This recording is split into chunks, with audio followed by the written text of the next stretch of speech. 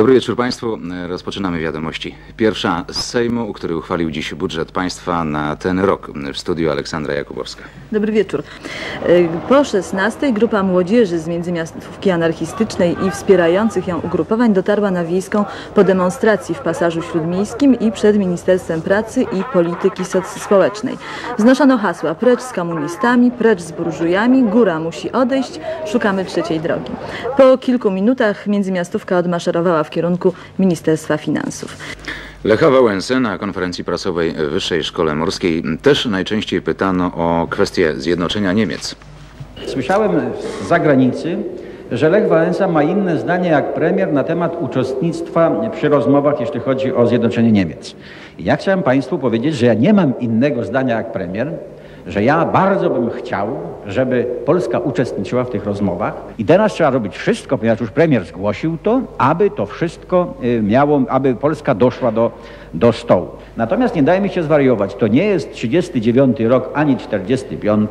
Wszyscy mają dość błędów niemieckich i innych i nie wolno i nikt nie dopuści przy tym zagrożeniu militarnym, atomowym i innym, nikt nie dopuści do jakichś rozgrywek typu militarnego.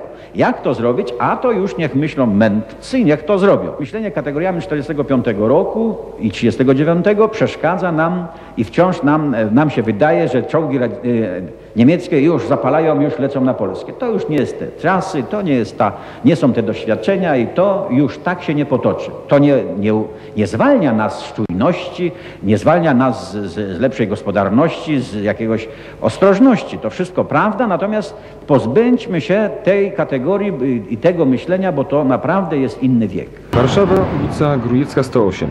Zgodnie z telewizyjną zapowiedzią ministra Kuronia spółka Scout w ramach akcji SOS otworzyła dziś sklep z tanią odzieżą.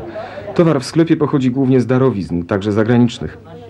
Ceny są tu z pewnością niewysokie. Już, za parę, już parę godzin przed otwarciem czekali pierwsi klienci.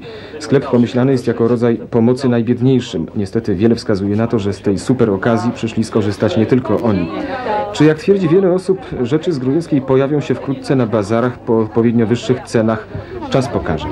Zapraszamy do naszego sklepu, żeby sprzedać odzież. Y, Wyceniamy ją po jak najniższych cenach, tak żeby ją sprzedać także, także bardzo nisko. Dostać odzież może y, ktoś, kto zgłosi się do opieki społecznej i będzie miał y, talon na odzież.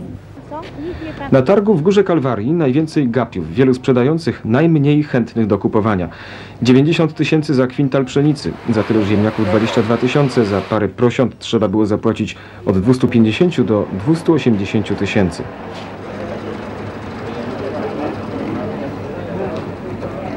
Tego cielaka udało się kupić za 600 tysięcy. Na kupno krowy nie mógł liczyć nabywca, w którego portfelu nie było przynajmniej miliona 400 tysięcy. Dobra mleczna krowa to 2 miliony do wydania. Źrebak do nabycia za 3 miliony, roczna klacz 6 milionów, a dwuletnia 8. Czy to wysokie ceny, czy niskie? Rzecz do dyskusji.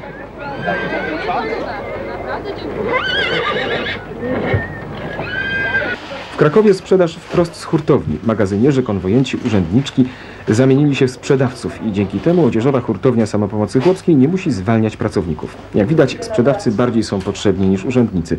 Unikając pośrednictwa sklepów detalicznych, sprzedają towar o 30% taniej i mają pełne ręce roboty. Tego jeszcze nie było. W Łodzi nowy towar w handlu obwoźnym. Wersalki, szafy, stoły można było kupić znacznie taniej wprost z samochodu. Tegoroczne Złote Kaczki, nagrody czytelników tygodnika Film dla najlepszej aktorki, aktora i filmu ubiegłego sezonu otrzymali Krystyna Janda, Janusz Gajos i Przesłuchanie w reżyserii Ryszarda Bugajskiego. Pani bohaterek uczestniczyło w życiu politycznym. Czy nigdy ta rola pani nie kusiła? Nie, nie, myślę, że są mądrzejsi ludzie, którzy powinni się tym zajmować. Ja powinnam robić to, co umiem, a w każdym razie mam nadzieję, że umiem i, i myślę, że najwięcej mogę zrobić po prostu e, uprawiając e, uczciwie i prawdziwie swój zawód. 5 kwietnia zaczynam zdjęcia w filmie pana Bromskiego, znowu o latach 50. Tym razem zagram Angielkę. Narodowy Bank Polski już od poniedziałku rozpocznie wprowadzenie do obiegu nowego banknotu o nominalnej wartości 100 tysięcy złotych z wizerunkiem Stanisława Moniuszki. Banknot ten jest kontynuacją serii Wielcy Polacy. Zaprojektował go artysta grafik Andrzej Heidrich. Pracę nad przygotowaniem banknotu rozpoczęto przed ogłoszeniem ustawy, na podstawie której zmieniona została nazwa i godło państwa. Podobnie jak inne banknoty tej serii, ma on wymiary 138 na 63 mm. Życzę Państwu jak najwięcej tych banknotów i na tym kończymy. Do widzenia.